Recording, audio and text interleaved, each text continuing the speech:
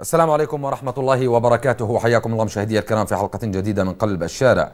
أذكر كالعادة في بدايتها بأن الآراء الواردة فيها لا تعبر بالضرورة عن رأي أنا طارق حامد أو رأي قناة نورمينا إدارة أو عاملين وإنما تعبر عن آراء أصحابها وحامليها الذين دائما وأبدا نفترض بهم حسن المنطق وحسن الصياغة. حياكم الله.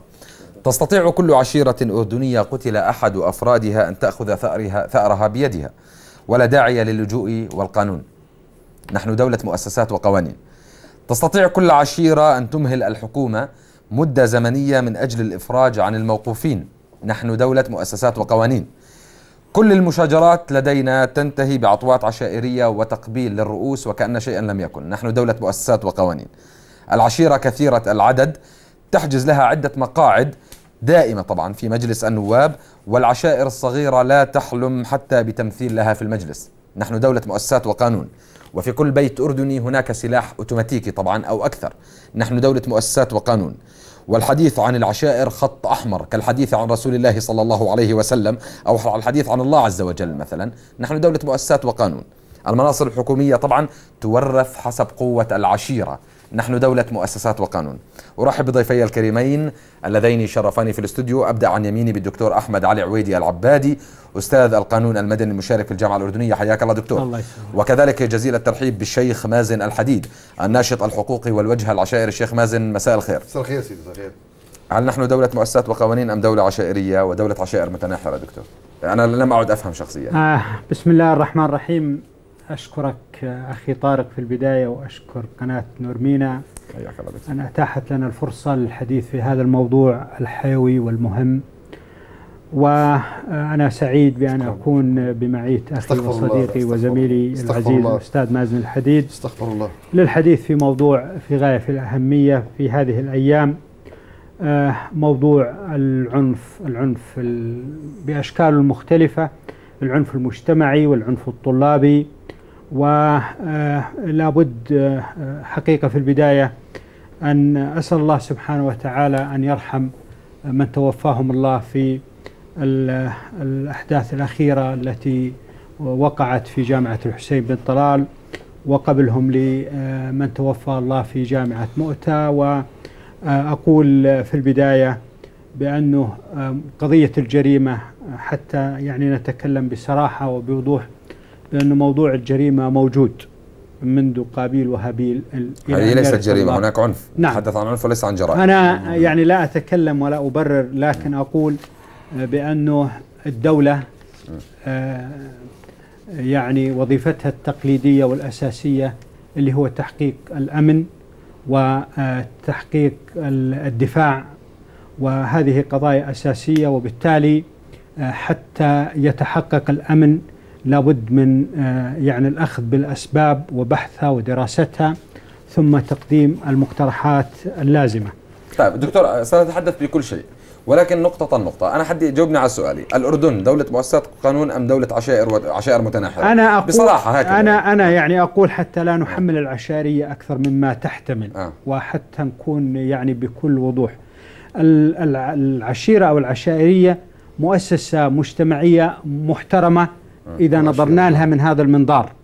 أما أن نحمل العشائرية أكثر مما تحتمل وأن نأخذ من العشيرة وسيلة وذريعة للانقضاض على البعض وللعنف وتفاقم العنف فهذه مشكلة أخرى. إحنا دولة قانون ودولة مؤسسات وهنا لابد من التأكيد على نقطة واليوم أنا كنت أتحدث مع طلبتي في كلية الحقوق في الجامعة الأردنية بأنه إحنا في الدولة الأردنية يعني نشهد تحول بدأ منذ سنوات ويجب أن نتعامل مع هذا التحول أي تحول بأن الدولة تحولت من المجتمع العشائري آه. إلى دولة مدنية آه. فيها مؤسسات وفيها سلطات وفيها قوانين. ويجب أن نتعامل مع هذا الأمر آه بي بي بي بما يستحق. وأقول بأنه العشيرة آه يعني إذا أحسننا التعامل معها ومع هذا المفهوم كنا أبناء عشائر. سواء كانت هذه العشيرة كبيرة أم صغيرة أيا ما كان عددها. قد تكون العشيرة في لحظة من اللحظات إذا تعاملنا معها بما يجب قد تكون مؤسسة لتنظيم الأمور ولضبط التصرفات والممارسات فلان الفلان من العائلة الفلانية. بده يحمل هذا الاسم بده يتعامل مع هذا الاسم بما يستحق من الاحترام والتقدير وأن تتعامل الناس مع بعضها طبعا هذا حكي نظري. بي- بي- بي- لا, نراه نعم. على الإطلاق دكتور سوى أسمعه سمعا الآن الآن الآن نحن لسنا مع الممارسات الخاطئة ويجب أن لا نحمل هذا الأمر أكثر مما يحتمل ويجب أن لا نختبئ خلف العشيرة لكي نتوغ يعني لكي نتجاوز على القانون ولكي نعتدي على الآخرين. طيب، جيد هذا دكتور. أمر غير مقبول وغير مرفوض. كويس. ويجب أن لا نسمح لأنفسنا أنه إحنا يعني آه، آه، آه، نستعين بالعشيرة حتى نتجاوز على القانون. القانون يجب أن يحترم وأن نتعامل مع هذا الأمر وبخلاف ذلك سيكون في فوضى وفي كلام جميل غاب. كلام جميل. وأنا سأسأل الشيخ مازن بعد قليل عن العشائرية بمعناها الجميل. ولكن قبل ذلك سؤالي مباشر لك. نعم. هل نحن فعلا دولة مؤسسات وقانون؟ أنا شخصيا لا أرى ذلك. لا أنا أتمنى ذلك. أول آه. شيء بسم الله الرحمن الرحيم. بادئ إذا بدء أول شيء أشكر آه، محطة آه، نورمينا. والقائمين عليها وخص بالذكر الاستاذ طارق حامد.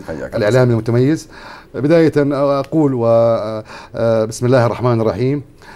كنتم كأهل قرية كانت آمنة مطمئنة يأتيها رزقها رغدا من كل مكان فكفرت بأنعم الله فأذاقها الله لباس الجوع والخوف فيما كانوا يصنعون. صدق الله العظيم.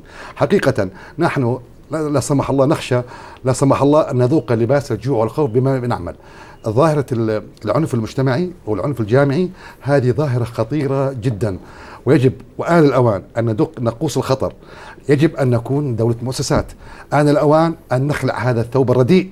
هذا الثوب العفن العشائرية مفهومها مفهومها قذر مفهوم العشيرة تحترم العشائر الأردنية محترمة ولها أصول جذور أما العشائرية بمعناها الجهوي بمعناها التعصبي بمعناها آه، المسقط الرأس هذا لا يجب أن يحارب وآن الأوان نحن نعيش بدولة دولة مؤسسات دولة قانون. الكل يحسدنا على الأمن والأمان نعم والأمان. فيه. آن الأوان العشائرية هي تعصب أعمى جاهل والآن الأوان نخلع هذا الرداء. أن نحن الآن بالألفية الثالثة عيب عيب أن نصل لمستوى العشائر الأردنية عبر التاريخ عشائر محترمة وعشائر لها أخلاقياتها وأدبياتها لكن ما نراه ونسمعه هذا اليوم شيء مؤسف ومخجل أمام العالم ونحن أبناء ونحن في هذا الوطن الجميل الذي آه، صنع وأسس على على مبادئ وقيم جميلة يجب أن لا- نلوثه بهذا المفهوم الرديء. طيب أنا سأسألك يا شيخ مازن آه، نسمع دائما كلاما يعني جميلا عن العشائرية بمعناها الرائع يعني. نعم. أنا أريد أن نعود بالزمن إلى الوراء معك ورحمة الله على والدك نعم، يعني نعم. يعني حدثنا عن الزمن الذي كانت فيه كلمة عشيرة وعشائرية تعني الرجولة فعلا يا سيدي. تعني يعني ذك- ذكرنا بذلك الزمن حتى يا سيدي يا سيدي. يعني آه، الوالد الله يرحمه من من يعني كان من الشيوخ العشائر الدين المعروفين على مستوى المملكة كان عندما يقال له شيخ يخجل كان أنا يقول أنا خادم المجتمع أنا ليس شيخا. أنا خادم العشيرة. أنا خادم الموطن. أنا خادم المواطن. وكان وكان مفهوم العشائريه عنده إنه التعاون والمحبة والأخوة والكرامة والعزة. هذا مفهوم العشائريه عند الناس. كانت الناس تحب بعضها أكثر تحترم بعضها أكثر. كانت العشائريه مفهومها مش السلبي الآن اللي عم بيصير الآن في بعض مناطق المملكة. كان مفهومها حب الناس خدمة الناس التعامل بأريحية مع الناس آه، الفزعة الكرامة الشهامة. الفزعة بالحق طبعا. بالحق طبعا. لا وبعدين اثنين الرسول صلى الله عليه وسلم يقول لا لا يحل لمسلم أن يروع مسلم. هذا ترويع. ابنك ولا بنتك لما يروح على الجامعة ويتروع ويرجع م- لا سمح الله. يرجع ممكن يكون يقتل ممكن يعني ناحية نفسية تصيبه هاي. هذه أشياء هذه مش دخيله على مجتمعنا الأردني. مجتمعنا الأردني كان يعيش في زمن طيب زمن زمن الأخلاق. زمن المحبة. الوالد كان يحكي لنا أشياء كثيرة يعني الكرامة عند الناس المحبة. ما كان عندنا مصاري أول. ما كان عندنا فلوس زي اليوم. لكن كان عندنا كرامة. كانت الناس تحترم بعضها. كان في زعماء تقليديين. يعني أنت عندك مثلا على سبيل المثال كانت عشائر البلقاء من سير حسبان لسير الزرقاء. كان يحكمها أربع شيوخ ابن عدوان ابن قلاب ابن أبو الغنم ابن حديد. هذه أربع اشهر عباد أستاذ الفاضل من شيوخ عباد يعرف. كان في شيوخ عباد قديش؟